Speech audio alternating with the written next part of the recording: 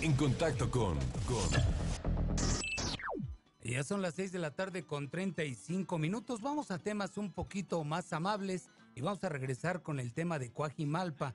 Tengo la línea telefónica, la directora de promoción turística de allá de la, de aquí de la Secretaría de Turismo de Veracruz, Turismo y Cultura. Ella es Silvia Monge. Silvia, ¿cómo te va? ¿Qué tal, Edgar? Muy buenas tardes. Qué gusto, qué gusto. Saludos a todos. Sí, tienes frío, qué gusto saludarte. Arrancan ya las Mañana, ¿verdad? La fiesta de la Candelaria. Arranca la fiesta de la Candelaria, una fiesta de folclor, de religión, de mucha tradición. Y tan emblemática para los veracruzanos, ¿no? Exactamente, y para la región del Papaloapan. Cierto. Y en general para el Estado, porque se dan cita eh, visitantes turistas de, de, muchas partes, no solo del Estado. ¿Cuántos ¿eh? se calculan que Se calcula que haya, bueno, unos 90 mil turistas. Es un chorro, ¿ah? Sí, es, es mucho en lugares pequeños. Y se requiere un buen operativo, sobre todo. El operativo ya se armó, el secretario de aquí de Turismo ya desarrolló la reunión operativa el pasado sábado con Protección Civil, Seguridad Pública, todas las áreas del gobierno del Estado involucradas para dar seguridad y certeza de que es una fiesta agradable, una fiesta sana, una fiesta segura. Por ahí escuchaba eh, que de Protección Civil se daba la incluso la recomendación de esto del del conductor designado, ¿no? Porque al no y, y, de verdad porque al ser un lugar pequeño con una gran afluencia de, de ciudadanos, de, de turistas que, que, van a divertirse, no abastece eh, la ocupación, los hoteles están al tope, al 100% de la ocupación hotelera, que sí, que sí hay infraestructura por las características propias de Tlacotalpan, y entonces también es una derrama que se va a expandir a, a lo que es pues Acabada, Alvarado y por qué no hasta Veracruz y, y el mismo Boca del Río. ¿no? Me quedaría por ahí con la preocupación de que no vayan a lastimar a los toros cebús estos que llegan ahí en, este, las embarcaciones y salen a recorrer pues ahí las calles de Tlacotalpan. Sí, sin duda es una, una tradición de, de los pobladores y, y, bueno, como tal se ha hecho lo propio para para pues pretender que, que sea lo más sano posible para todos los seres, ¿no? Tanto Ajá. animales como humanos, ¿no?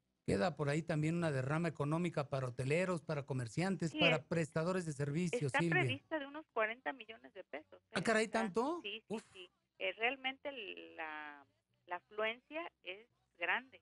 Eh, tiene algunos años y a partir de esta administración con el gobernador Duarte, que se le ha inyectado fuertemente tanto a la cuestión cultural como artística, como, como al, a la misma este, tradición del folclore de la región, porque hay eventos con soneros, decimistas, jaraneros, sí, sí, algo sí. muy típico de la región, el fandango, independientemente del elenco artístico, ¿no? Va a estar Joan Sebastián, Los Ángeles Azules, Río Roma, El Recodo, Pandora, La More, Silvia y Carmen, en fin. Este. Oye, Silvia, te sacaste la lotería, qué buena chamba, ¿eh? Me hubiera gustado que me dieran una chambita de esas. Pues sí, fíjate Está que... padre esa chamba, ¿no? Yo Sobre creo todo, que, que sí. Pero sí es de responsabilidad también, Eso ¿no? te iba a decir, es muy bonita porque principalmente nos da la oportunidad de hablar muy bien de lo que sucede en Veracruz, ¿no?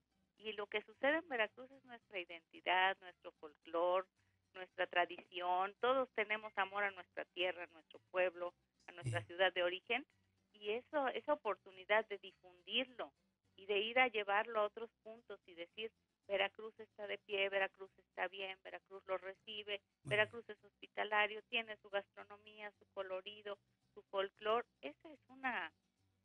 perdón, pero es una bendición. Y ahí vamos de la mano con el carnaval y con las, pues con el evento Tajín, ¿no? Claro que sí, bueno, terminando esto, tenemos... Corriendo, pues. Sí, uno tras pegado. otro, ¿eh? De hecho, pareciera que, pareciera y es real, que la Candelaria es la que nos da la pauta para iniciar Sí, sí, este, sí, con todos los eventos y festejos y, y eventos turísticos que, que se generan en, en, nuestro estado. Después continuamos del 10 al 18 de febrero con el carnaval.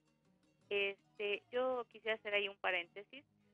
Hay un segmento turístico y que para los jalapeños y la región y, en general para todo el país es de suma importancia porque ha cobrado mucho sentido, que es el turismo de naturaleza, de aventura, el ecoturismo.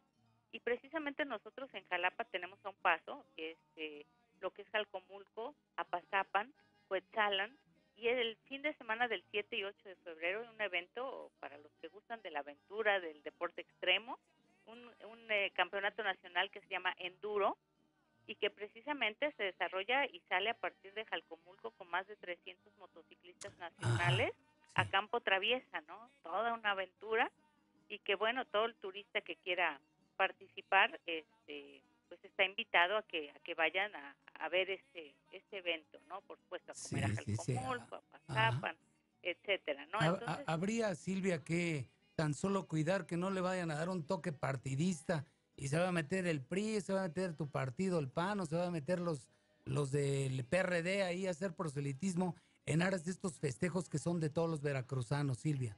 No le veo cabida a nada de esto, ¿no? Este, por, y hago el paréntesis, yo renuncié al, al, PAN hace más de año y medio, este, pero no le veo ese sentido. Yo creo que cuando el evento se trata de, difundir nuestra comida, nuestro nuestro folclor, nuestra música, nuestra jarana, este, en este caso de las motos, este, los prestadores de servicio de allá de Jalcomulco son los primeros impulsores de llevar este evento a, a Jalcomulco y la Sectur viene a, a coadyuvar, a, a, respaldar, a dar su apoyo este, de, de, diversas formas para que esto pueda desarrollarse, ¿no? Ah, y, bueno. y, así sucesivamente, ¿no? Muy bien. Silvia, te mando un abrazo, gracias. Muchas gracias, Edgar. Buenas tardes. Que estés muy bien. Ella es Silvia, gracias. Silvia Monge Villalobos, es la directora de promoción turística de la Secretaría de Turismo y Cultura. Adriana Muñoz.